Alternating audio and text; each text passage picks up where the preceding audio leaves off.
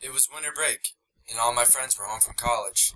I decided to throw a party, and because some of my friends were over 21, alcohol became a factor. More and more people started showing up, and things got seriously out of hand. That's when the police got involved. Several people were arrested, including myself. We were lucky that's all that happened. Someone could have driven away and died that night. This party put at risk other people's lives, as well as the home that my parents provide for me.